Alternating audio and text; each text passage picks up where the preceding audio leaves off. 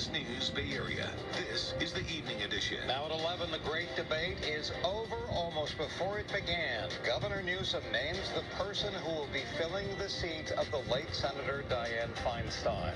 Then how a world-famous ballet dancer with ties to the Bay Area is using film and dance to draw attention to key issues. We made this film for the community this week could see the biggest walkout in history by U.S. nurses.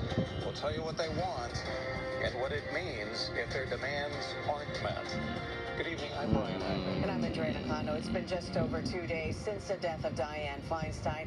We now know who will fill her seat for the next 13 months. It's an old friend of the governor's, LaPhonza Butler. She will go from being the president of something called Emily's List to being a senator from California. According to Politico, she is registered to vote in Maryland and based in D.C. Her work involves fundraising for pro-choice female Democratic candidates.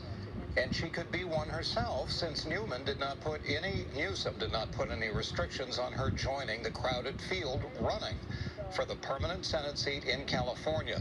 Butler has a deep background working for unions, and with the announcement, Newsom delivered on his promise to give the job to a black woman. Butler will now be the only black female in the Senate and the first openly gay one.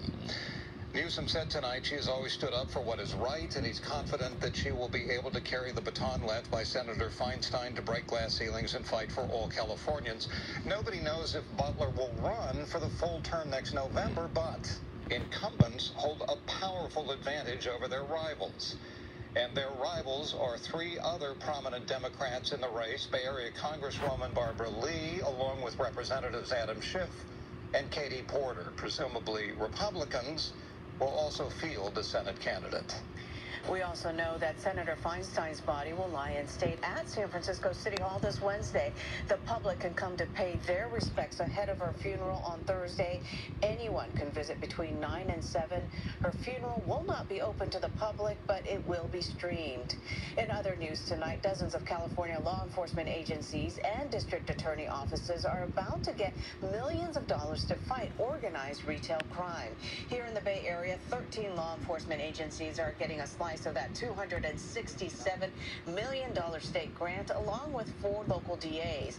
The money will go towards things like surveillance equipment, security staffing, and tackling vehicle theft.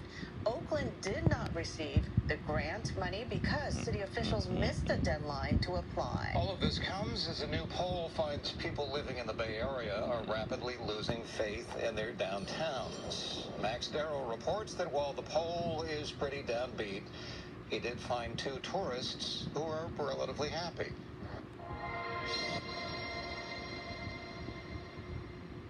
Anthony could